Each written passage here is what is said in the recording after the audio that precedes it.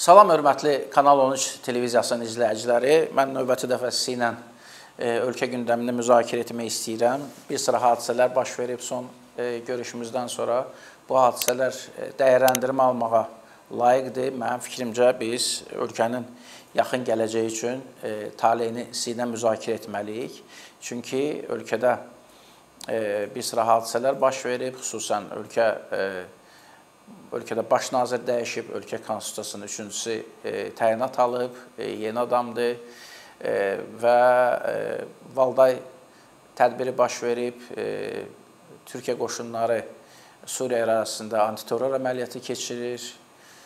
E, bütün bu hadisələr mənim fikrimcə e, Azərbaycan cəmiyyəti tərəfindən bilinməli olan, qiymətlənməli olan hadisələrdir. Mən e, əvvəldə baş nazir məsələsinə toxunmaq istəyirəm. Məni bir sıra hadisələr onun təqdimatında, təyinatında məyus etdi. Mən istəyirdim ki, yeni təyin olunan baş nazir düzdür, mənim hissəmdən heç nağsız deyil, ancaq hər halda mən öz mövqeyini, mövqeyimi bildirmək, münasibətimi ifadə etmək hüququna malikəm. Mən hesab eləyirdim ki, təyin olunacaq baş nazir yeni konsepsiyası ilə çıxış etməlidir, yeni komandasını təqdim etməlidir. Hər halda kimlərlə işləyəcəyini, ölkənin düşdüyü böhran vəziyyətindən çıxış yollarını parlamentə təqdim etməklə e, Azərbaycan cəmiyyətinə doyurmalı idi, çatdırmalı idi. E, yeni üslub haqqında danışmalı idi. Nələrin pis olduğunu, nələrin yaxşı ola biləcəyindən deməli idi. Azərbaycan cəmiyyətinin böyük gözləntisi var, çünki cəmiyyətdə çox böyük sosial gərginti var, e, gərginlik var.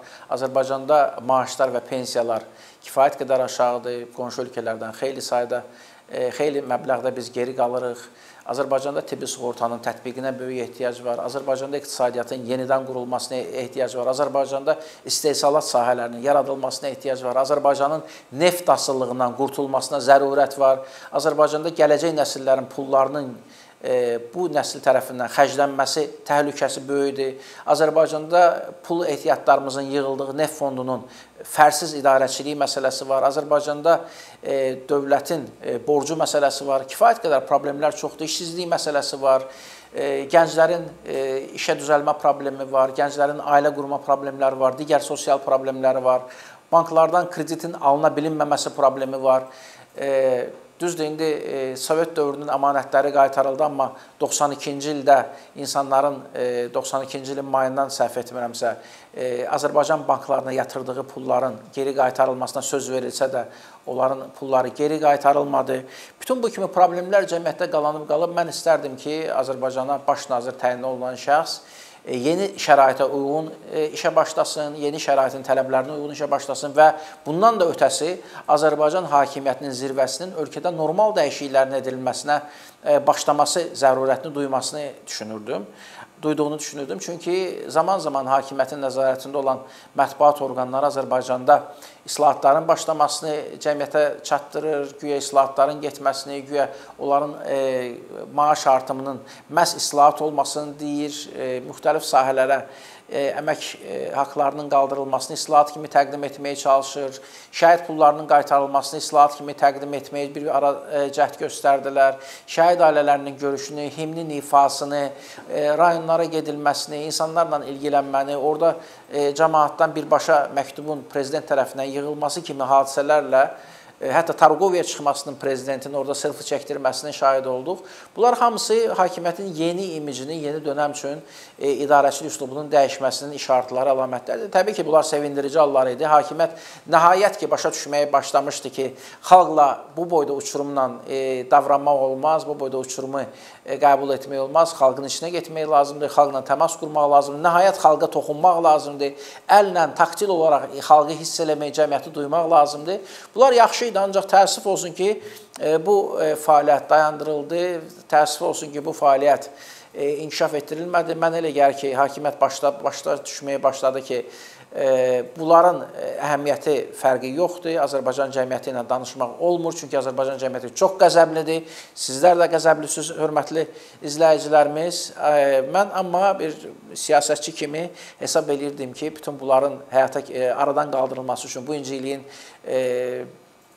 düzəlməsi üçün, barışın yaranması üçün cəmiyyətdə, ölkədə bir siyasi açılımın olması üçün, ölkədə e, hakimiyyət xalq arasında, hakimiyyət müxalifət arasında yarğanın qısaldılması üçün, kiçildilməsi üçün ən azı bunların arasında körpünün yaradılması zərurəti var və hakimiyyət bu istiqamətdə addımlar atacaq. Amma nə olsun ki, e, Azərbaycan iqtidarı hələ psixoloji olaraq bu məsələyə hazır olmadığını nümayiş etdirir. Yeni təyinatın da Azərbaycan xalqının mənim fikrimcə maraqlarına uyğun olmadığını düşünürəm, hesab edirəm bilirəm ki, e, həm e, personanın özü, e, həm personanın özü, yəni Əli Əsədov əvvəlki fəaliyyəti ilə bunu haqq etmir. Çünki Əli Əsədov Azərbaycanda ən azı bayraq meydanının tikinti rəhbəri kimi, müəllifi kimi e, bu posta gətirilməməli idi. Çünki bilirsiniz ki, bayrağımız aşıb həmin meydanda və bayraq dirəyimiz mövcud deyil. Zaman-zaman hakimiyyət bu bayraq meydanında andışma mərasimi keçirirdi, inaqurasiya həyata keçirirdi, oranı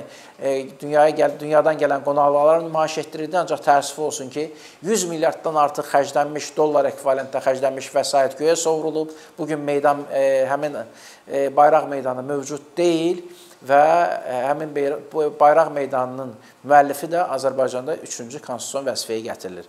Mənə elə gəlir ki, o ancaq bayraq meydanının uğursuzluğu Əli Əsədovun bu posta gətirilməməsi üçün ən ciddi e, səbəblərdən biridir. Bunu da kənara qoyaq. Bunu da kənara qoyaq. Əli Əsədovun parlamentdəki çıxışı narahatlıq doğurmaya bilməz. Əvvəldən yazılıb verilmiş bir mətnlə çıxış etdi. Azərbaycan iqtisadiyyatının nə bugünkü durumundan, nə gələcəyi ilə bağlı planlarından bir kəlmə də obyektiv söz demədi. Onun verdiyi rəqəmlər Azərbaycan reallığını əks etdirmir. Azərbaycan bütün parametrlərə görə istəyir o makroiqtisadi göstəricilər olsun, istəyir mikro göstəri iqtisadi göstəricilər olsun, hakimiyyətin nə deməsindən asılı olmayaraq Azərbaycan iqtidarının ziyanınadır və Azərbaycan xalqının ziyanınadır təbii ki. Çünki biz bütün göstəricilərimizə görə ən azı qonşu dövlətlərimizdən, ən azı E, MDB ölkələrinin mütləq əksəriyyətindən, dünya dövlətlərindən isə mütləq olaraq biz geri qalırıq və Azərbaycan iqtidarının bu sahədə qürrələnməyə bir dənə də olsun nümunəsi mövcud deyil. Neft pulları hesabına e, dövlət büdcəsinin doldurulması Azərbaycan hökumətinin e, qələbəsi sayıla bilməz. Azərbaycanda açılan müəssisələr dərhal bağlanır lentikəsizlikdən sonra bu İsmayıllı velosiped zavodu da misaldır, Şamaxıda tikilmiş televizor zavodu da buna misaldır. Tərtərdə tikilmiş süd emalı zavodu da buna misaldır.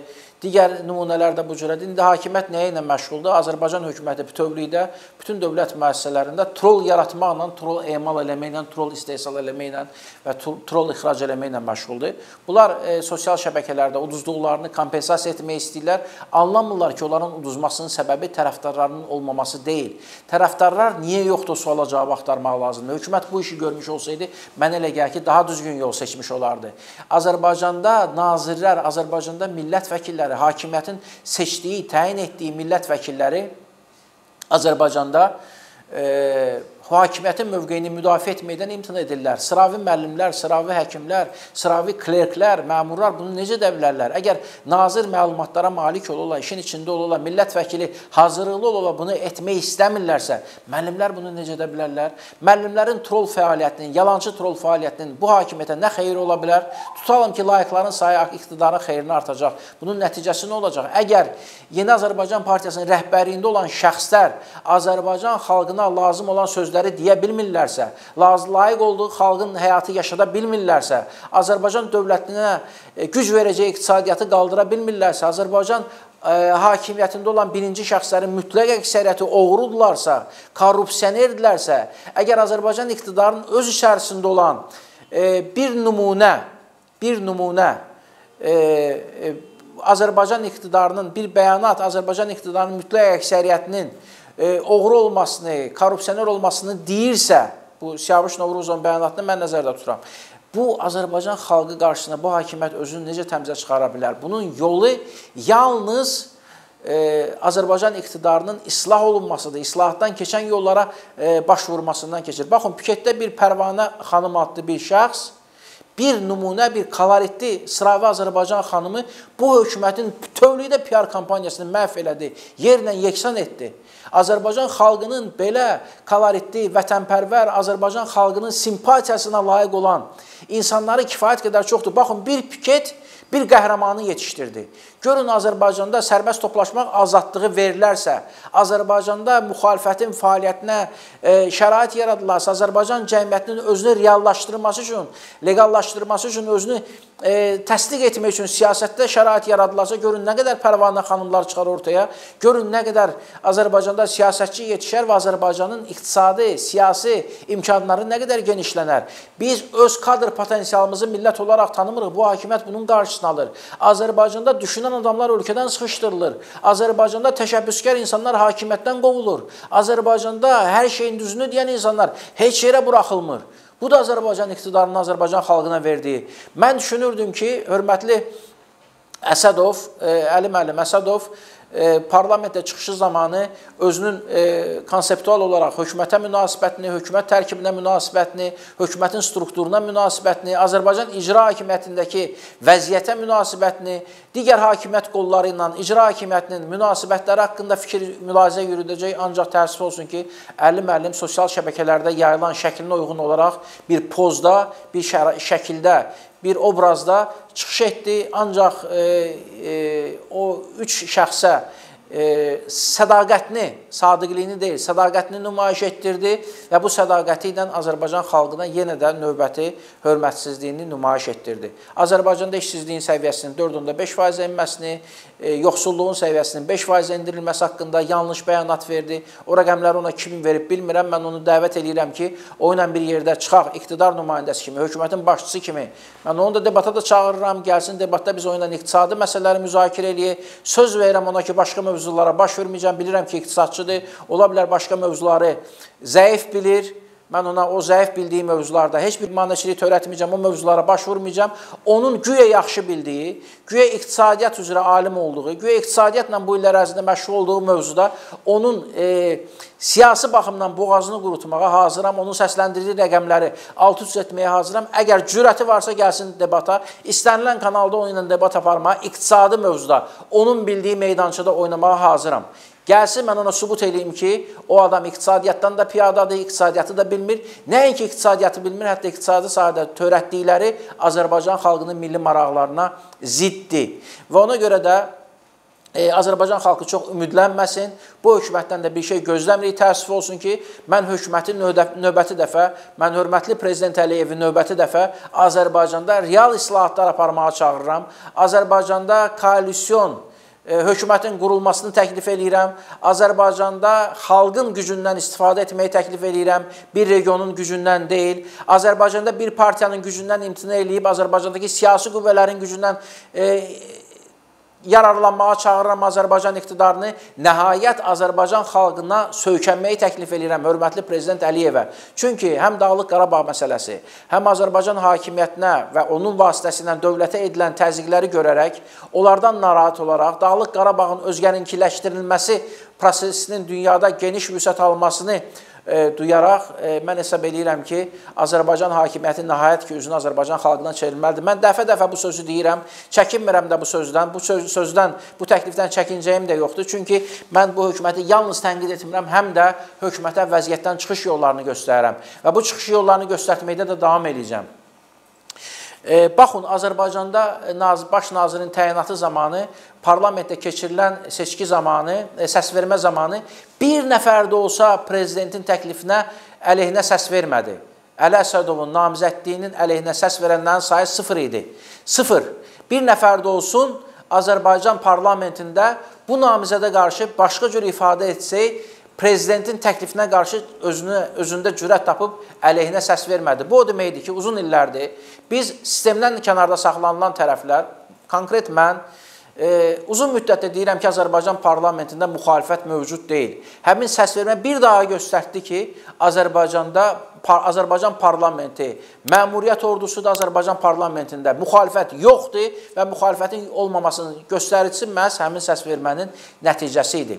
Mən e, müxalifət nümayəndəsi olaraq hökumətə təklif eləyirəm ki, ilk növbədə real addım kimi bu hökumətin dəyişməsi ilə, hökumət başçısının dəyişməsi ilə, bəzi kosmetik dəyişikliklərin həyata keçirilməsi ilə heç bir şey bu ölkədə dəyişməyəcək. Mən saatlarla bunun səbəbini danışa bilərəm. E, əgər zərurət olsa yaxın gələcəkdə nəyə görə bu bu cür bədmin danışdığımı izah eləməyə də əsaslandırmağa da çalışıram. İndi mən bəzi başqa məsələlərdən danışmaq istədiyimdən e, qayıdıram hökumətin edə biləcəyi işlərə. Baxın, Hökumət baş nazir postunu dəyişir, güya bizə toxtalıq vermək istəyir, güya nəyisə etməsini, görüntüsünü yaradır, amma mən bu dəyişikliyə inanmıram. Çünki Azərbaycanda bayrağı da vermi, e, aşırtmış bayrağı çevirmiş Novruz Məmmədov, bayrağı aşırtmış Əli Əsədov Azərbaycanda heç bir real islahat apara bilməz, heç bir real iqtisadi nəticə əldə edə bilməz, heç bir iqtisadi üstünlük Azərbaycan xalqına bəxş eləyə bilməz. Bu mümkün deyil. Bu mümkün deyil və mümkün olması üçün də Azərbaycanda yeni təfəkkürün hakimiyyətə, yeni idarəçilik fəlsəfəsinin hakimiyyətə gətirilməsi lazımdır. Söhbət fərdlərin dəyişməsindən getmir. Hətta İlham Əliyev özü də bunu edə bilər. Edə bilmirsə, təbii ki, o hakimiyyətdə uzun müddət qala bilməyəcək. Çünki yeni dövrün tələbləri tamamilə fərqlidir. Ən az ona görə fərqlidir ki, bizim oponentlərin, Azərbaycan müxalifətinin əvvəl sizi tənqid etmək meydançası mövcud deyildi. Siz bizi bütün meydanlardan, alanlardan sıxışdırmışdınız. Siz bizi televiziyaya buraxmırdınız, siz bizi seçkilərdən kənarda saxlayırdınız, siz bizim haqqımızı seçkilərdə yeyirdiniz. Siz bizim e, mandatlarımızı tanımırdınız, xalqın səsini e, oğurlayırdınız, amma indi ən azı Azərbaycanda cəmiyyətlə kommunikasiya imkanları dəyişib, Azərbaycan xalqı ilə ünsiyyət vasitələrinin çeşidi dəyişib, Azərbaycan xalqı ilə təmas saxlamaq imkanları sizin oponentləriniz üçün asanlaşıb, biri də mən. Mənə vaxtaşırı sual verirlər ki, dünənə qədər hardaydın? Dünənə qədər mən bu sözləri deyirdim, ancaq elə yerlərdə deyirdim ki, oradan xalqın əksəriyyəti bu sözləri eşidə bilmirdi. Məni televiziyalara buraxmırdılar, məni seçkilərə buraxmırdılar. Ən radikal dediyi adamları seçkilərdə qeydə alırdılar, məni qeydə almırdılar. Çünki bu hakimiyyət köhnə adamlardan qorxmur. Bu hakimiyyətin qorxduğu yenilikdir. Bu hakimiyyət necə ki e, fəaliyyətində yeniliyi tətbiq edə bilmir, eynilə də bunun qorxduğu təbəqə yenilikdir. Çünki bu hakimiyyətin söz deyə bilməyəcəyi, irad tuta bilməyəcəyi, qüsurunu cəmiyyətə duyura bilməyəcəyi tərəflərdən narahatdır. Mənim haqqımda bu hökumət nə deyəcək? Mənim haqqımda hansı iradı bildirəcək? Mən heç bir hakimiyyətlə təmsil olunmamışam. Mən heç bir düyün proseslərinin içərisində iştirakçı olmamışam. Mən bu hakimiyyətdən, xarici qüvvələrdən 1 manat, 1 sent, 1 qəpik belə rüşvət almamışam.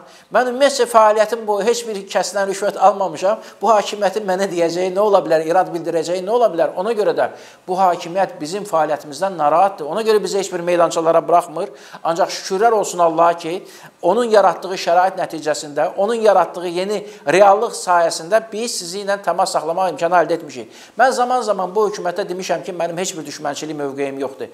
Mən istəyirəm ki, bu hakimiyyət bu vəziyyəti dəyişsin. Mən istəyirəm ki, bu hakimiyyət Azərbaycan xalqını yaxşı yaşatsın. Mən istəyirəm ki, bu hakimiyyət Qarabağ problemini çözə bilsin.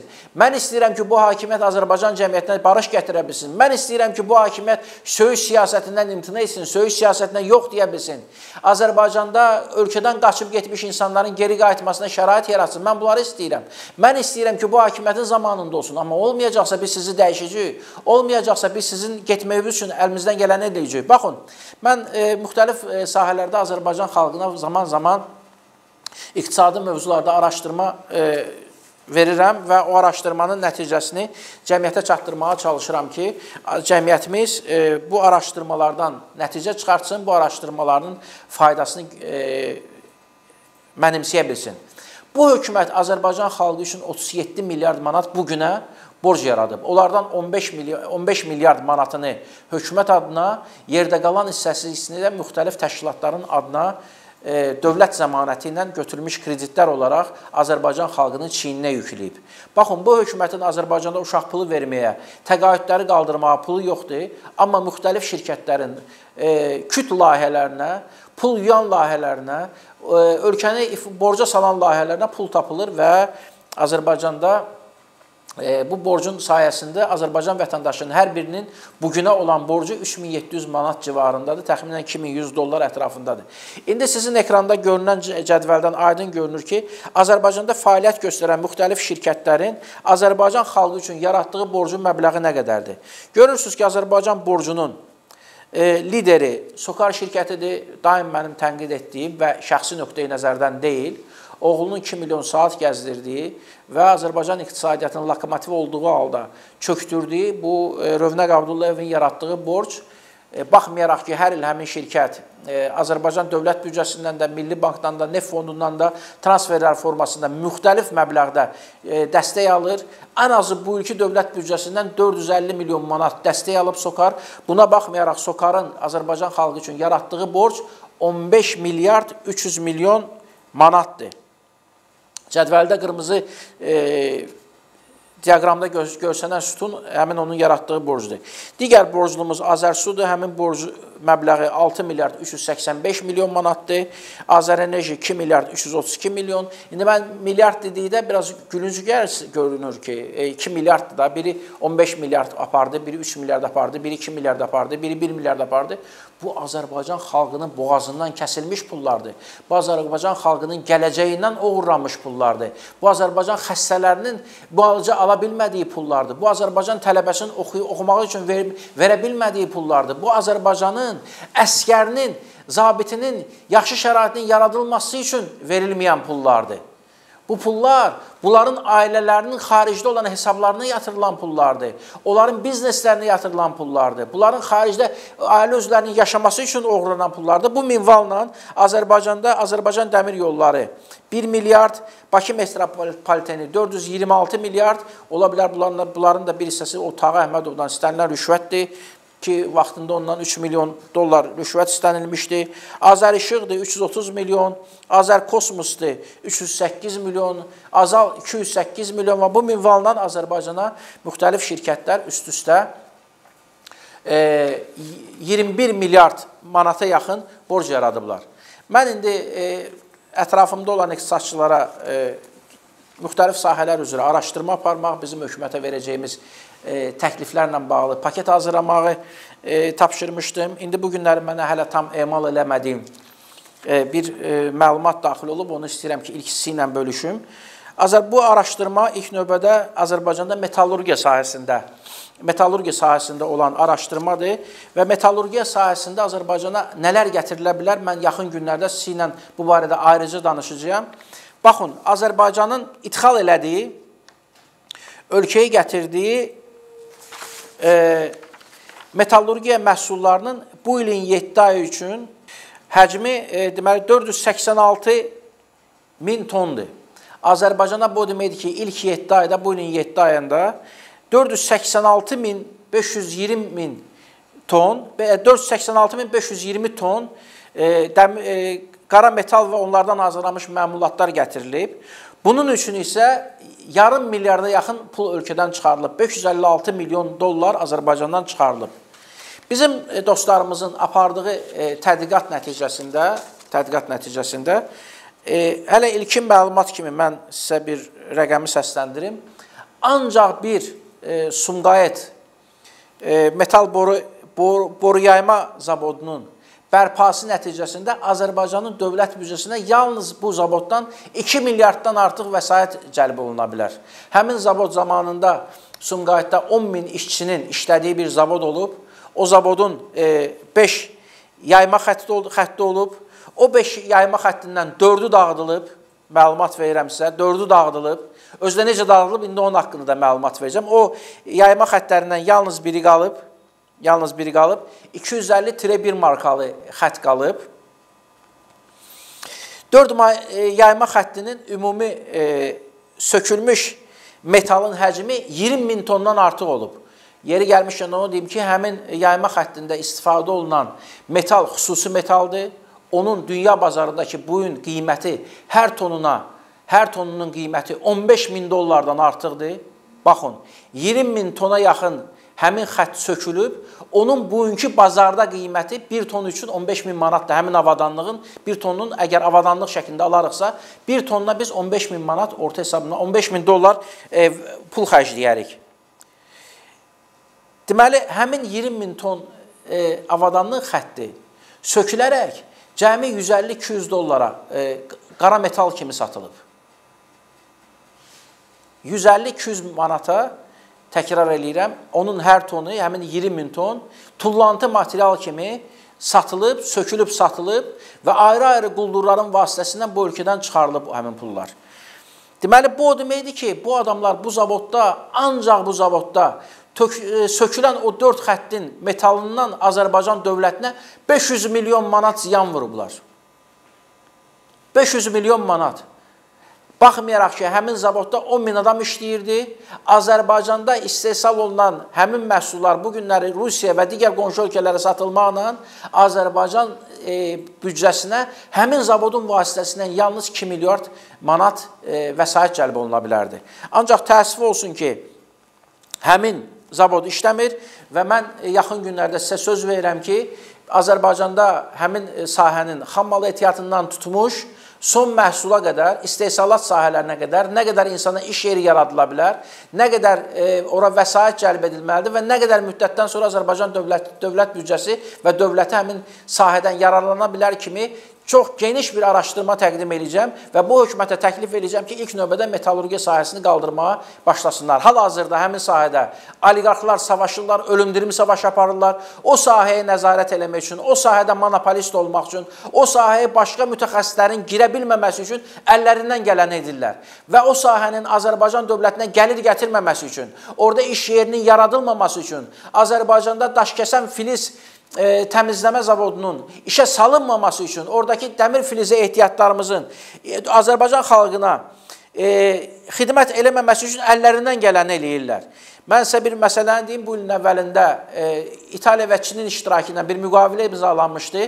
Daşkəsən filiz saflaşdırma zavodunun işə salınması üçün, amma bilirsiniz ki, o layihə də dövlət e, zəmanəti verilmədiyinə görə donub. Mən əslində o Çinin o sahədə Azərbaycana gəlməsinin əleyhinəyəm. Azərbaycanda kifayət qədər mənim araşdırmamdan sonra bəlli olub ki, o sahədə mütəxəssislər var, o sahənin fədailəri var, fədakar insanları var. Mən deyərdim ki, fanatları var.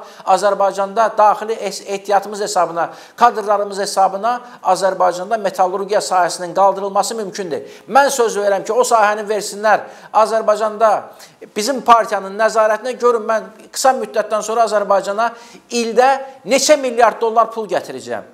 Amma bu pullar ya istismar edilməməsi üzündən, ucbatından qalıb e, sahələrdə, ya da ki, fərsiz istehsal sahələr, sahələrinin mövcud olmağına görə, həmin sahənin dağıdılmasına görə, yerlə yeksan edilməsinə görə, oliqarxların davasına görə bu günlər bərbad hala gətirilib, o sahədən demək olar ki, Azərbaycan dövlət büdcəsinə heç nə gətirilmir. Rəqəmdən səsləndirdiyim kimi, Azərbaycanın yarım milyarddan çox vəsaiti ölkədən xaricə çıxır və biz kənardan qara dəmir məmulatları alırıq həmin e, sahədə boşluğun olması səbəbindən.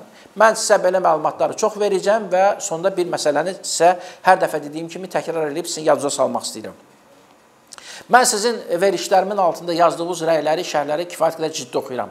Bu əslində sosioloji araşdırmadır, cəmiyyətin e, mövqeyidir. Təbii ki, orada tendensiyalı mənə e, E, münasibətindən, şəxsi münasibətindən irəli gələn, başqa siyasi partiyaların yaxınlıqlarında olan adamların mövqeyindən e, belə deyək, cılız, egoistik mövqeyinə irəli gələn çıxışlar, o münasibətlər olur. Onları kənara qoyarıqsa, əsasən orada səsləndirilən fikirlərin mütləq əksəriyyəti bizim fəaliyyətimizin cilalanması üçün, mövqeyimizin e, cəmiyyətə uyğunlaşdırılması üçün, ayarlanması üçün çox böyük dəstək verir.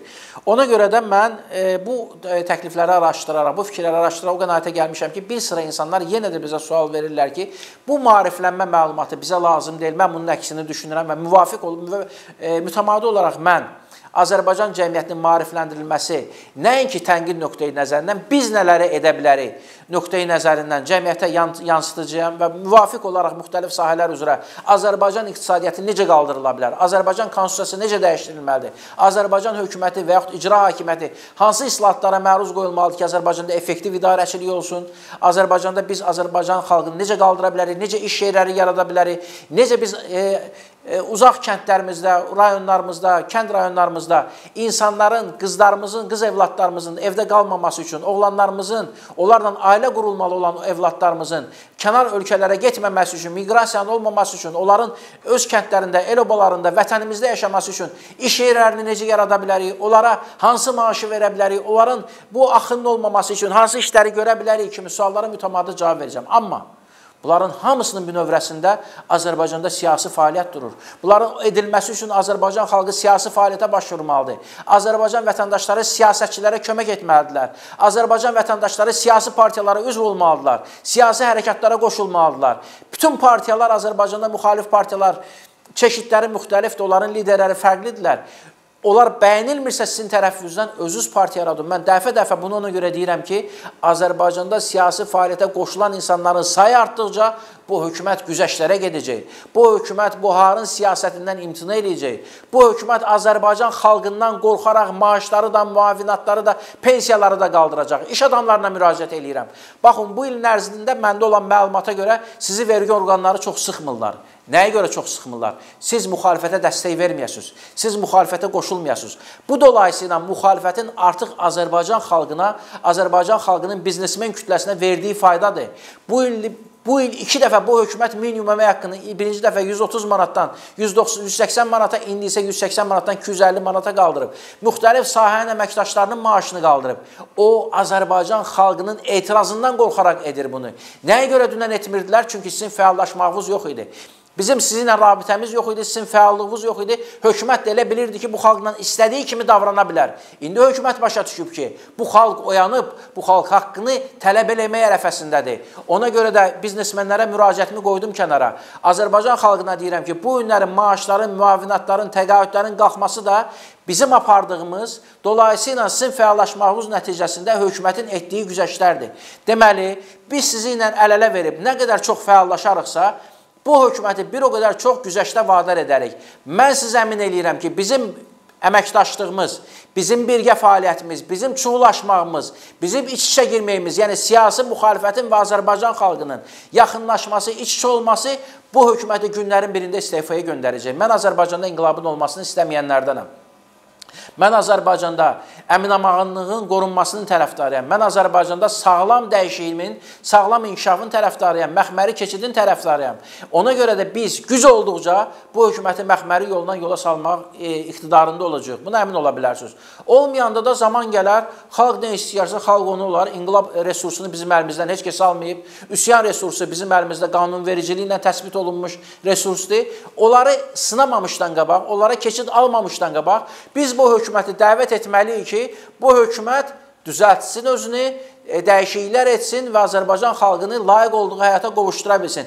Biz bu e, həyata layiq deyilik, biz işğala layiq deyilik, biz Azərbaycanda yaxşı həyat görməliyik, yaxşı rifah içində yaşamalıyıq. Rifah təkcə Azərbaycan hakimiyyətinin nümayəndələrinin və onun ailə üzvlərinin, qohum əqrəbəsinin layiq olduğu bir həyat deyil. Azərbaycan xalqının bəlkə də onlardan çox rifaha haqq eləyən insanları hakimiyyətdən kənardadırlar. Mən buna əminəm. Ona görə də Azərbaycan xalqı Azərbaycan hakimiyyətindən yaxşı yaşamalıdır deyib bu günləri mən sizlə sağollaşıram. Minnətdaram sizə diqqətinizə görə mütəmadi olaraq sizlə təmasa girib bu məsələləri sizlə müzakirə edəcəm. Bir daha sağ olun.